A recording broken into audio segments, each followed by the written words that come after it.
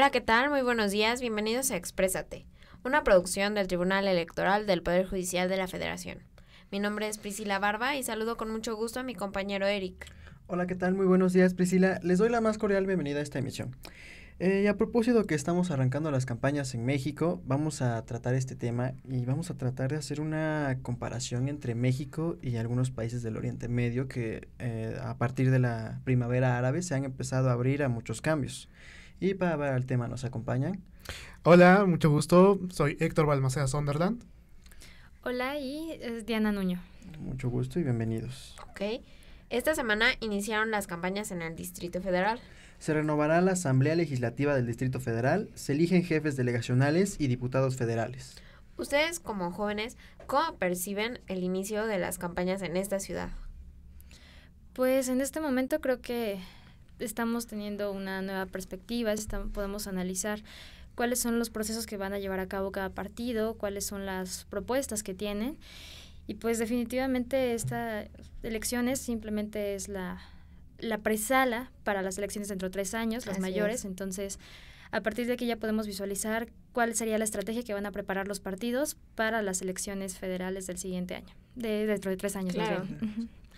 Yo percibo mayor interés eh, por parte de la población, sobre todo la ciudadanía. Los jóvenes están muy interesados en cuanto al eh, proceso electoral y sobre todo el querer tener una participación democrática en la política nacional y la política interior.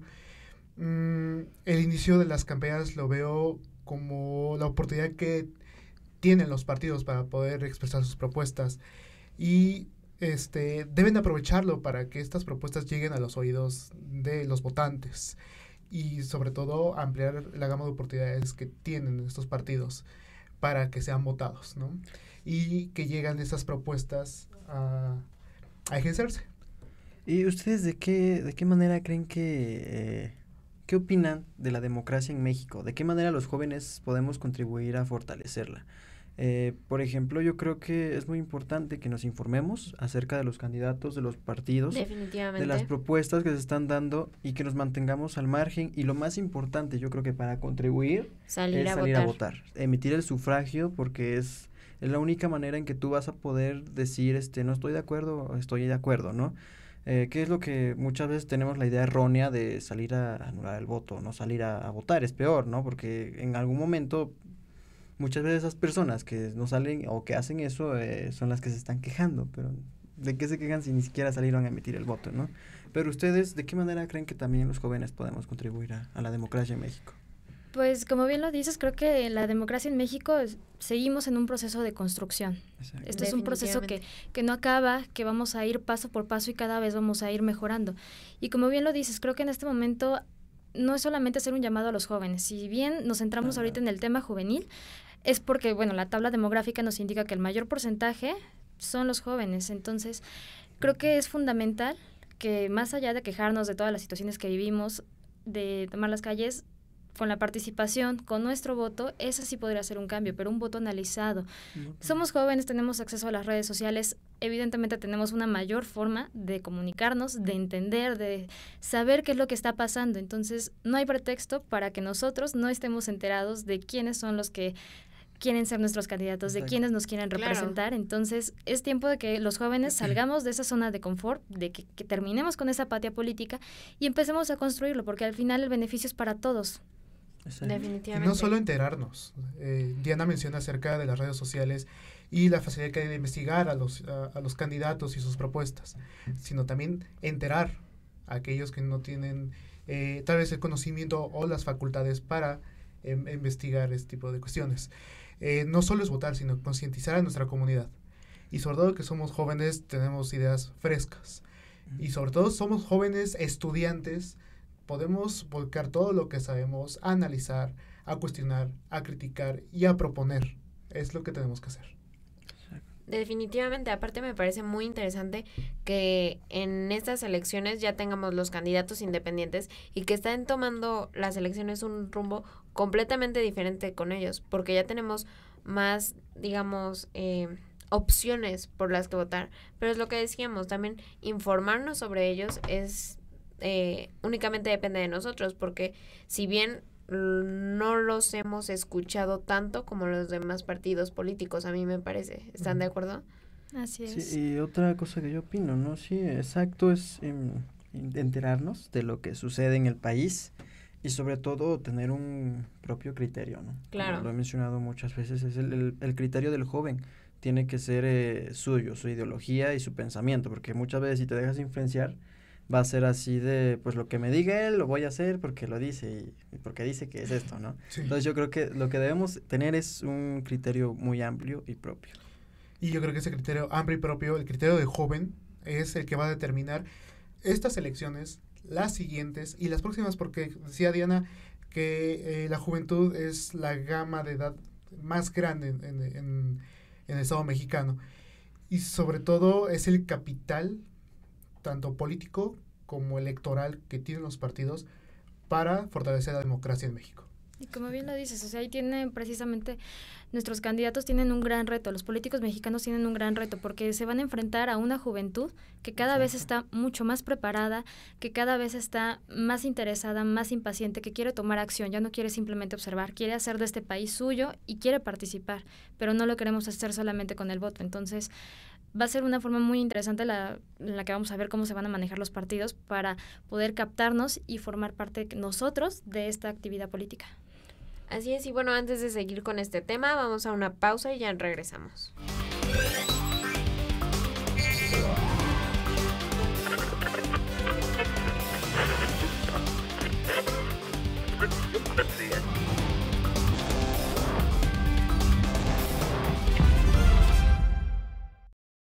La democracia es cuestión de todos los días y de todos los ciudadanos, de grandes y pequeñas decisiones. En el Tribunal Electoral trabajamos para que tu voz sea respetada. Resolvemos a favor de la igualdad política entre mujeres y hombres. Defendemos las decisiones que toman con autonomía los pueblos y comunidades indígenas. Nuestras sentencias garantizan el respeto a tus derechos político-electorales, consolidan nuestra democracia. Tribunal Electoral del Poder Judicial de la Federación. Tú tomas la decisión. Nosotros la protegemos. Este este año, elegiremos diputados federales y autoridades en 17 entidades federativas. Las y los mexicanos podemos tener la certeza de que contamos con instituciones fuertes. Muestra de ello es el reconocimiento que recibió el Tribunal Electoral como la mejor institución electoral del año, entre órganos de todo el mundo. Lo que ratifica nuestro trabajo de cara al proceso electoral 2015. Tribunal Electoral del Poder Judicial de la Federación. Tú tomas la decisión, nosotros la protegemos. En el Tribunal Electoral protegemos los derechos político-electorales de las y los mexicanos. En los últimos tres años atendimos más de 60.000 asuntos, 8 de cada 10 interpuestos por ciudadanos, y en este año resueltos en apenas 11 días. Trabajamos por la igualdad entre mujeres y hombres y por la autonomía de los pueblos y comunidades indígenas. Somos referencia para tribunales locales y extranjeros. Tribunal Electoral del Poder Judicial de la Federación. Tú tomas la decisión, nosotros la protegemos.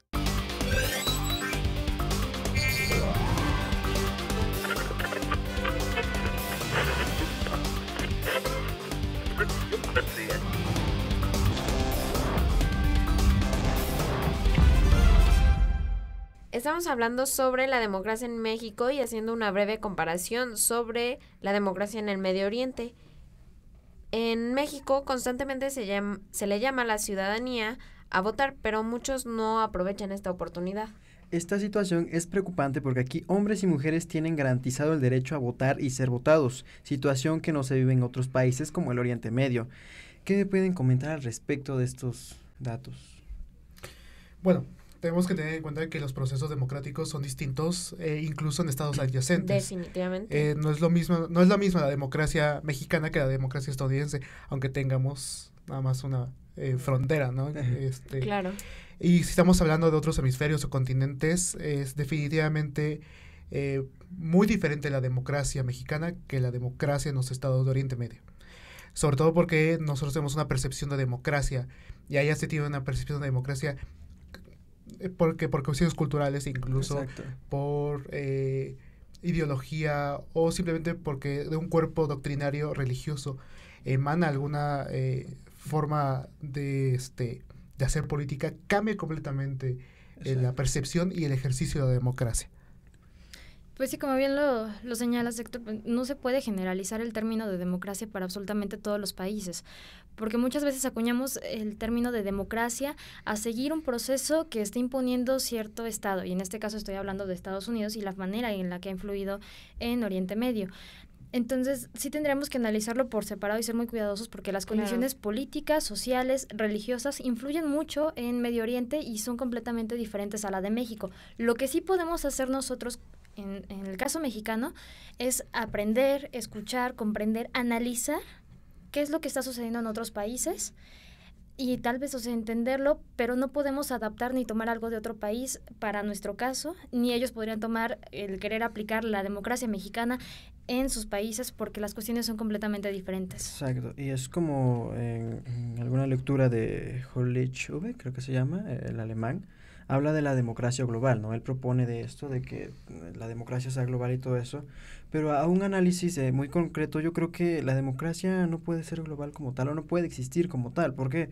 Porque tal vez lo, lo que te, funciona en México no te va a funcionar en Irak o en Irán, ¿no? Por ejemplo. Exacto, Y otro de los puntos importantes, ya que estamos tocando aquí ahorita el Oriente Medio, es lo que mencionabas, pero para entender a, a los países de Oriente Medio, tienes que entender su religión. Yo siempre lo he dicho que eh, muchos de ellos no tienen una constitución escrita y muchas veces es basada en, en el Corán, eh, que son países eh, muy, mm, podría decirse que muy reservados, ¿no? Yo así los, los veo como países y que incluso a veces tienen una, un nivel de cultura de educación increíble, pese a que muchos los juzgan. Claro.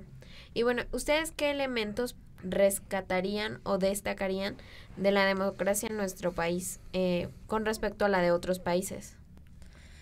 Pues podría considerar que en México, uno, la participación de las mujeres. Claro, creo que es fundamental. el, el cambio ha venido, no tiene tanto que tenemos esta participación, pero ya el buscar que, que, haya más personas, pero no simplemente porque sean más personas los votantes, sino porque también como mujer tienes la capacidad de pensar, también como mujer tienes una actuación política y también como mujeres ya estamos tomando actuación en diferentes trabajos, estamos ya teniendo un mayor campo de acción en nuestro país.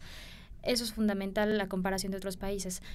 Pero también otro elemento importante que me gustaría destacar de nuestra democracia mexicana es que, por ejemplo, en el Plan Nacional de Desarrollo se manifiesta ¿no? que México puede trabajar en materia de cooperación, de en democracia en orientar a los países de África. Exacto. Que aquí ya estaríamos hablando, Héctor, me corregirás, de Medio Oriente extendido, ¿no? Que también forma parte de estos países que también ya están viviendo estos procesos democráticos. Entonces, que México esté trabajando ya con una responsabilidad en cooperación en materia democrática, pues vamos ya por un muy buen camino. Me gustaría rescatar algo que dijo Diana, eh, las democracias tal cual son eh, su generis. Los modelos, eh, los regímenes eh, gubernamentales tienen que ser creados eh, en territorio nacional para que en verdad funcionen. Y es por eso que las democracias son tan distintas unas de otras. No se puede importar los modelos. Tienen que eh, primero construirse y adecuarse. Y muchas veces no responden a las necesidades que la población requiere de acuerdo a la política nacional. Ahora, eh, ¿cómo veo yo la, democracia en México? Tiene que fortalecerse, tiene que crecer. Y a diferencia de las democracias en Oriente Medio, porque sí hay democracias, eh, eh, es es una, no solo es una cuestión de percepción, sino sí existen. La, la situación es que la democracia mexicana es más incluyente y pluralista. Y debemos de tener mayores mecanismos de acceso a la toma de decisiones. Eh, situación que podemos comparar con, con, los estados de Oriente Medio y tal vez podríamos clasificar como precarias. Pero también son eh, procesos democráticos que llevan una construcción en la toma de decisiones, eh, no solo de algunos, sino de todo el pueblo. Es que no eh, podríamos como categorizarlos por precarios o por buenos o por malos, más bien son completamente diferentes, ¿no? Exacto. Yo lo que podría descartar de la democracia mexicana es como en eh, Josep Di Palma en, en, en, cuanto a la democracia propone que sea que existan instituciones que la regulen, ¿no? Entonces, eh, para mí el más claro ejemplo cuando yo leí sus puntos es el tribunal, ¿no? El, Tribunal Electoral del Poder Judicial de la Federación, el que estamos ahorita, es como eh, esa institución que regula las elecciones, que protege la democracia y que se, se está empezando a volver eh, muy famoso a, nivel mundial. Yo creo que lo que lo, lo que se necesita para que la democracia sea como eh, protegida y esté los ciudadanos eh, conscientes de que alguien está protegiendo su voto, es instituciones como el tribunal. Yo es lo que más destacaría. Precisamente lo que mencionas, porque es fundamental. México nunca vamos a tener una democracia perfecta ni pura. Siempre la democracia se va a estar moviendo porque también se relaciona esto con los problemas sociales y políticos que vamos enfrentando paso a paso, algo que es fundamental y forma parte de la evolución de cada país. Entonces, de eso debemos estar conscientes como ciudadanos y también entender que el llamado a la participación es fundamental. Y algo que me asombra mucho y que sí destaco de, nuestro país, a diferencia de muchos otros, y no estoy hablando en este caso solo de Oriente Medio, el acceso que tenemos a la información por medio del Internet. Claro. No lo tenemos restringido y esta es una gran, gran herramienta, un arma para nosotros para podernos defender, poder analizar, criticar y conocer aún más. Y eso es algo que sí se está fortaleciendo, además de la institucionalidad. Eh, pues muy bien, vamos a nuestro segundo corte y ya regresamos.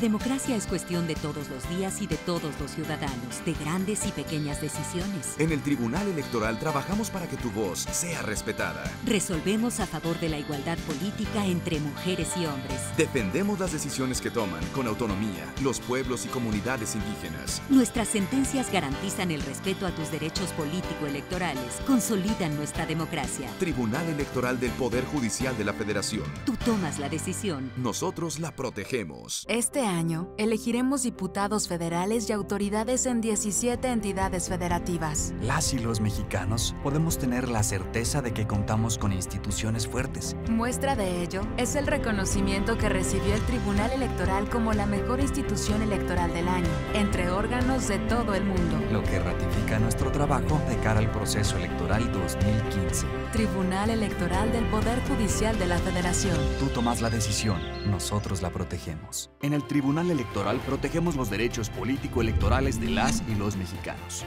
En los últimos tres años atendimos más de 60.000 asuntos, 8 de cada 10 interpuestos por ciudadanos, y en este año resueltos en apenas 11 días. Trabajamos por la igualdad entre mujeres y hombres y por la autonomía de los pueblos y comunidades indígenas. Somos referencia para tribunales locales y extranjeros. Tribunal Electoral del Poder Judicial de la Federación. Tú tomas la decisión, nosotros la protegemos.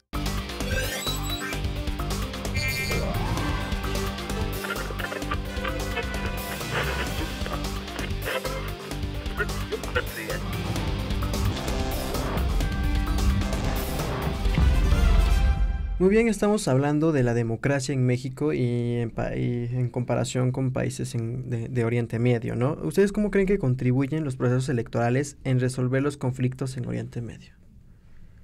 Creo yo que los procesos electorales eh, han servido para eh, llevar a cabo procesos de reconciliación nacional.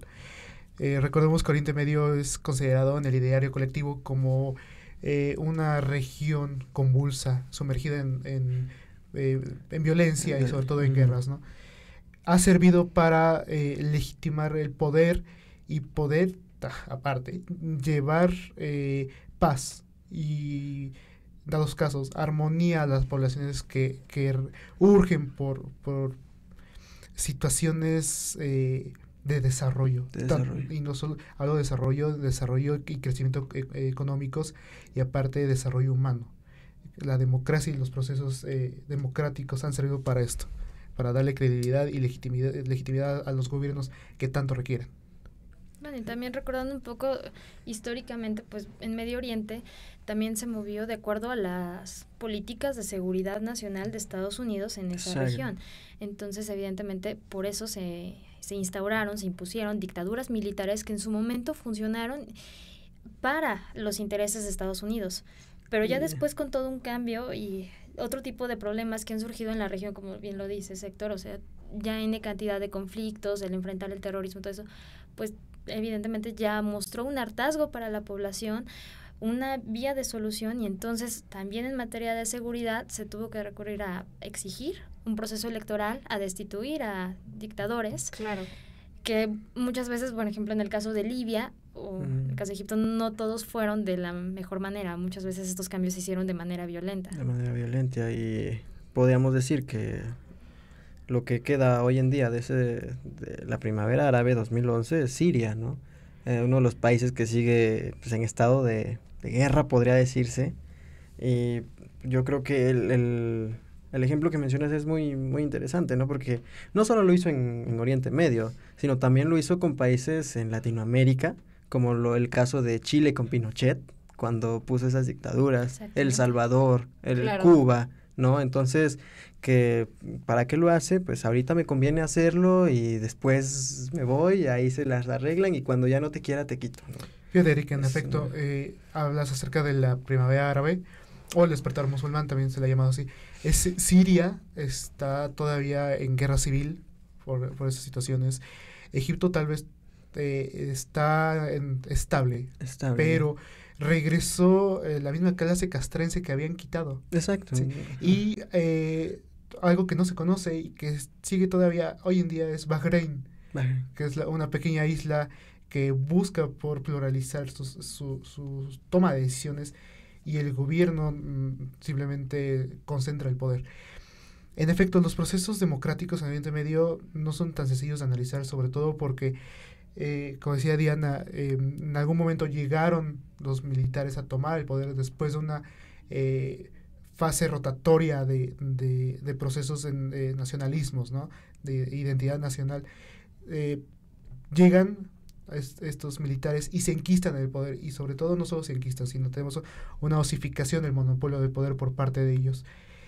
Llega la primavera árabe y Túnez da el ejemplo pero hay otros estados donde no se ha podido y sobre todo se, se percibe que este tipo de eh, revoluciones de conciencia están promovidos por eh, agencias de inteligencia, ¿no? Exacto. Y es el miedo que se tiene. Eh, la de, puedo afirmar que hay ciertas partes de la de poblaciones que tienen miedo a la democracia. ¿Por qué? Porque estos regímenes totalitarios les han brindado paz y armonía y sobre todo el crecimiento económico pero se debe de buscar una mayor participación.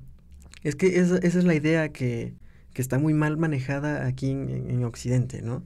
¿Qué es lo que te venden? Allá son malos, son todo claro. lo que tenga que ver con musulmán es terrorismo. Pero realmente nadie se pone así como a analizar quiénes son realmente y por qué viven así, ¿no? Si ellos viven así felices, pues a ellos les funciona el sistema, es lo que decimos. El mundo, pese a que se ha globalizado, la democracia y los, los regímenes, regímenes y los sistemas no van a funcionar iguales aquí o en China, ¿no? Cada quien tiene su manera de, es de que vivir. Además esta parte de, de criticar y la perspectiva que tenemos completamente diferente de hablar Occidente-Oriente, también creemos que, que, para nosotros es completamente ajeno. Históricamente nosotros también pasamos por una guerra civil para poder tener un sistema democrático Exacto. que nos costó años y que al final, igual que en Medio Oriente, los cambios no se van a ver al día siguiente de derrocar a una persona. Los cambios son constantes, es son una construcción. Y entonces, mientras no se entiende esta parte del proceso, porque lo mismo se vivió en Medio Oriente, lo mismo vimos en Egipto, los medios internacionales se volcaron sobre estos temas, pasó el tiempo, es que no hay resultados hay que ir paso a paso, no es fácil la construcción, las, las cuestiones son completamente diferentes. Así es, y bueno, pasando a la siguiente pregunta, ¿cuáles consideran, perdón, cuáles consideran ustedes que son los retos más importantes para los jóvenes en los procesos electorales, tanto aquí en México como en Medio Oriente? Mm, yo creo que es seguir informándose. Eh, Definitivamente. Re retomo lo que decía Diana, ¿no? en, en, el, en, la cápsula anterior, tenemos nosotros la oportunidad de acceso a información. Eh, y en otras latitudes no se tiene. Está completamente restringido o de, o de alguna manera restringido el acceso a la información. Oh. Y los retos que tenemos nosotros los jóvenes mexicanos para fortalecer la democracia en México es seguir estudiando y seguir concientizando.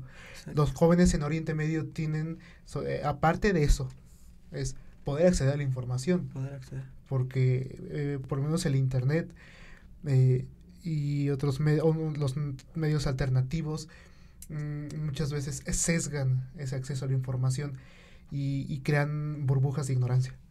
Sí, eh, yo creo que un claro ejemplo de falta de, de, de, información, de acceso a la información es Corea del Norte, ¿no? ahí no tienes acceso a internet y todo lo que te venden es del gobierno y solamente es el gobierno y no reniegas. Corea, Corea del Norte, China, eh, este, con ciertas redes sociales. Sí, eh, exacto. Turkmenistán, Uzbekistán, parte de Irán y bueno, no digamos otros que otros estados que también forman parte de Oriente Medio. Exacto.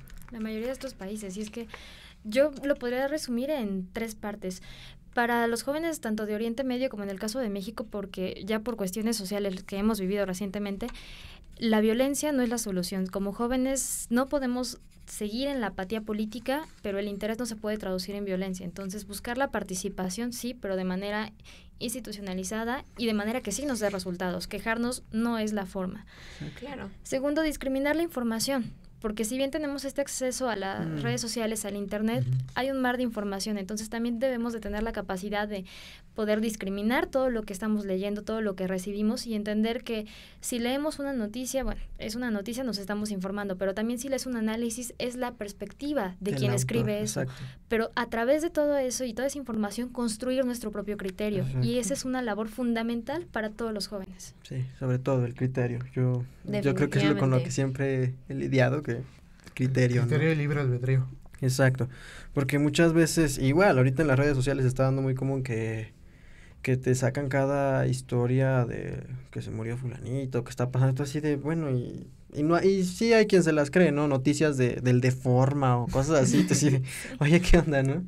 Y que sí se las termina y, creyendo. Y, y puede ser medios muy consolidados, con mucha legitimidad, pero hay que saber qué línea editorial manejan y qué corte informativo quieren llegar a hacer, ¿no? Exacto. Y como jóvenes nos olvida una palabra y a veces la detestamos, pero claro. responsabilidad es fundamental y también debemos de tener una responsabilidad en nuestro actuar político.